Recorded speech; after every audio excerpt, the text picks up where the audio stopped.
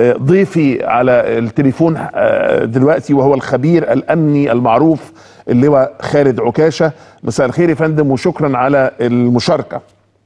مساء الخير لحضرتك يا أستاذ معتز. تحياتي ليك وللسادة المشاهدين جميعا. أهلا بيك. ست اللواء أنا أنا أنا طرحت سؤالي المرة دي. شايفين معسكر وخيم وموتوسيكلات وعلامات تدريب على ضرب نار أو أو يعني تدريب عسكري أو تدريب لاستخدام الأسلحة جوه محافظة الفيوم فهل ممكن حضرتك تلقي الضوء على هذا؟ يعني سؤال حضرتك في محل يا أستاذ معتز وملحوظة في منتهى الأهمية الحقيقة مسألة آآ إنشاء معسكرات. هي طبعا معسكرات صغيرة ولا يعني لا تقارن بالمعسكرات الخارجية على سبيل المثال اللي تم قصفها بالطيران المصري. فيما سبق في الداخل الليبي دي معسكرات على مستوى أكبر وأوسع. لكن في كل الأحوال الحقيقة أهمية سؤال حضرتك إن إحنا بنتحدث عن المعسكر الثاني اللي بتضبطه الداخلية أو بتضربه الأجهزة الأمنية خلال أسبوعين. كنا من أسبوعين بنتحدث عن إسماعيلية أيضا. كان هناك في شرق القناة تابعة لمحافظة الإسماعيلية مجموعة أيضا بتحاول أن ترفع كفاءة عناصرها بالتدريب على السلاح وعلى صناعة المتفجرات وغيرها. النهارده في الظهير الصحراوي للفيوم الحقيقة هذا الاتساع في المدى الجغرافي أظن إن هو مقصود من قبل حركة حسم على الأقل. حركة حسم تريد أن تشتت انتباه وزارة الداخلية والأجهزة الأمنية بأكبر قدر ممكن. هذا الاتساع وهذا التمدد علشان يصعب المواجهة الأمنية على الجانب الآخر. رغم إن المواجهات الحقيقة بتدور في كافة المحافظات لأن التصعيد الإرهابي ملامحه واضحة. الحراك المسلح لجماعة الإخوان يصاعد بشكل قوي وظاهر و ومحاولات دؤوبة لصناعة خلايا صغيرة تشبه تنظيم داعش أو خلايا داعشية اللي هي مجموعات لا يتعدى عددها من 8 إلى 10 أفراد وده اللي شفناه في معسكر الفيوم النهارده وده اللي كان موجود في الإسماعيلية أيضا. وأيضا العناصر اللي بت بتنزل علشان تنفذ العمليات الإرهابية نتحدث عن عنصرين أو ثلاثة على أقصى تقدير. يعني أصبح الاهتمام بالكيف وليس بالكم بالنسبة لهذه العناصر هي الملمح الرئيسي اللي إحنا بنتابعه النهارده وهي ربما الإجابة على سؤال حضرتك. طيب ده كلام كويس جدا. كيفية الإيقاع دايما ب يعني عناصر إجرامية تمارس أعمال إرهابية ضد أفراد الشرطة أو القوات المسلحة أو ضد المجتمع بشكل عام؟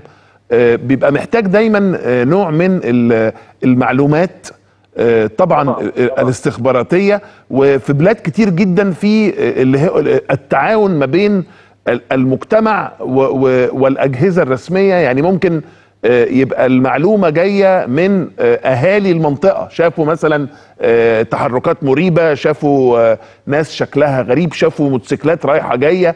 فحضرتك ال ال ال الوضع ده هل تعاون الناس في الإدلاء بمعلومات كان له أي مساهمة فيه؟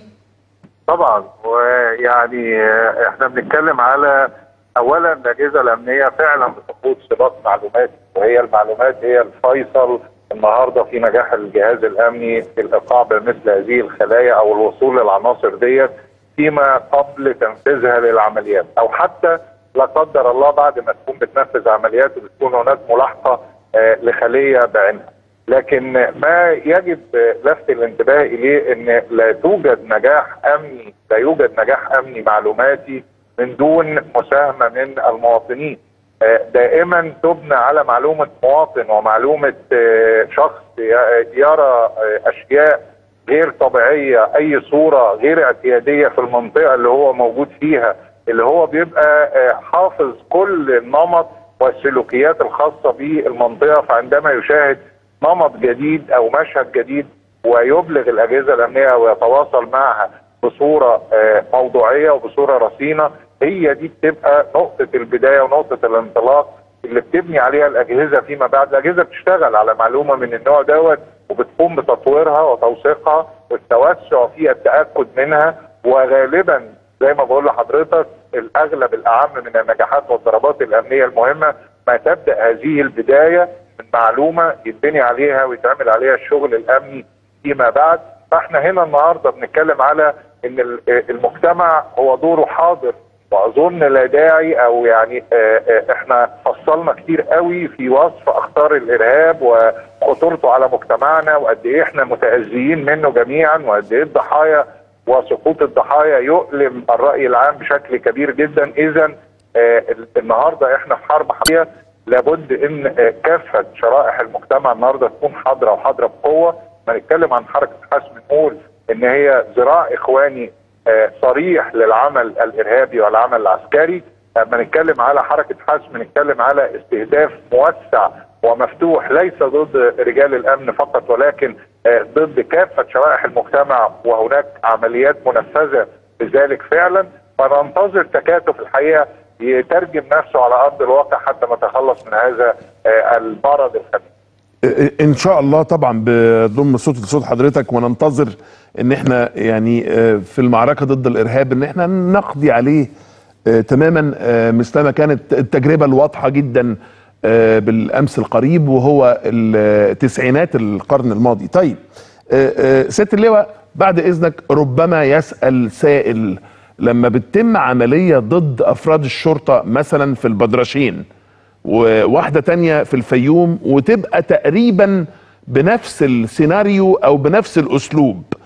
سؤالي لحضرتك طبعا بيبقى في موتوسيكل قاعد عامل نفسه بي بي بيصلح ال ال الكاوتش بتاعه ولا بيصلح المكنة بتاعت الموتوسيكل ويجي يقف عند مطب صناعي تهدي العربية يمطرها بوابل من النيران بحيث إن يبقى في عنصر المباغتة وما يبقاش في رد فعل تاني إيه إيه طب هو إحنا ما تعلمناش الدرس يعني ولا هو آه، يعني صعب إنك تتوقع حاجة زي كده؟ لا مش صعب نتوقع طبعا. إحنا لما بنقول إن خطورة الإرهاب وصعوبة الإرهاب في مكافحته آه، في مصر وفي كافة أنحاء العالم هو إن الإرهاب يمتلك الطلقة الأولى. والطلقة الأولى فور خروجها هي بتكتسب آه، عنصر المباغتة والمبادئة.